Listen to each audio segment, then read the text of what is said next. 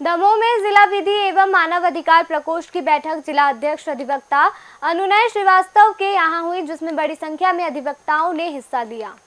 यहाँ पर कांग्रेस प्रदेश अध्यक्ष शशांक शेखर के द्वारा अधिवक्ताओं के हित में शीर्ष नेतृत्व के सामने रखे जा रहे अधिवक्ता हितैषी प्रस्ताव का समर्थन किया। साथ ही 19 अगस्त को भोपाल पहुंचकर विधिक विमर्श कार्यक्रम में हिस्सा लेने की बात कही। इस अवसर पर प्रदेश कांग्रेस की प्रवक्ता अधिवक्ता श्रीमती निधि श्रीवास्तव सहित अधिवक्ता गणों की मौजूद रहे।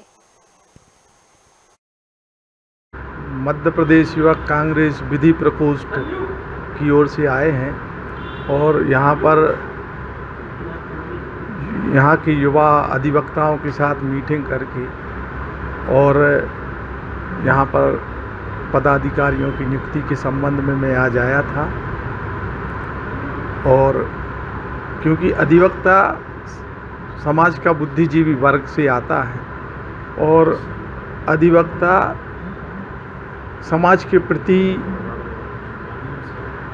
ज़िम्मेदारी ज़्यादा बनती है, इसलिए हम लोग सबसे पहले अधिवक्ताओं को संगठित करके, जो सरकार इस समय तानाशाही और कई प्रकार के ऐसे जो गैर कानूनी कार्य कर रही है, उनके नेता सरकार में बैठे लोग जो गैर कानूनी काम कर रहे हैं, उनसे लड़ सकें। इसके लिए हमें नेटवर्क की ज़रूरत है, कार्यकर्ताओं की ज़रूरत है, इस संबंध में हम लोग यहाँ आए थे, पदाधिकारियों के चलते हर प्रकार के विभागों के लिए, हर प्रकार के तबके के लिए सरकार अपनी योजनाएँ रखती है। और ऐसे में कांग्रेस ने भी अधिवक्ताओं के लिए एक क्या आगामी समय में उनके हित के लिए, उनके प्रोटेक्शन के लिए, उनके वृद्ध, वृद्धावस्था के लिए क्या उनको सुविधाएँ दी जा सकती हैं?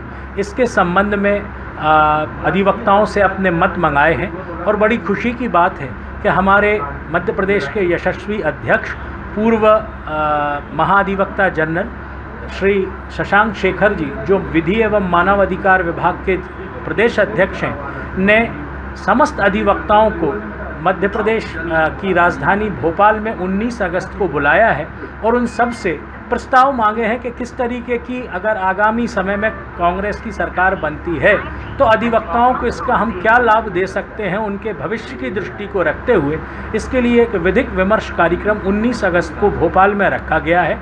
आज दमोह में यह जो मीटिंग रखी गई है, ये मध्य प्रदेश कांग्रेस विधि एवं मानवाधिकार विभाग में जिन लोगों को, जिन अधिवक्ताओं को पदाधिकारी बनाया गया है, उनके द्वारा, उन सबके सहयोग से यह मीटिंग आयोजित की गई है।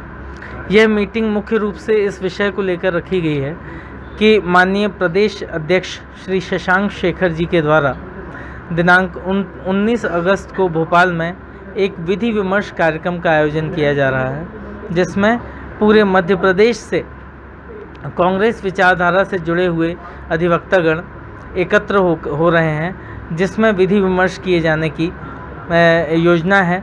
उक्त उक्त समस्त अधिवक्ताओं से, अधिवक्ताओं के हितों से संबंधित योजनाएँ, प्रस्ताव, ये सब प्राप्त किए जाएँगे।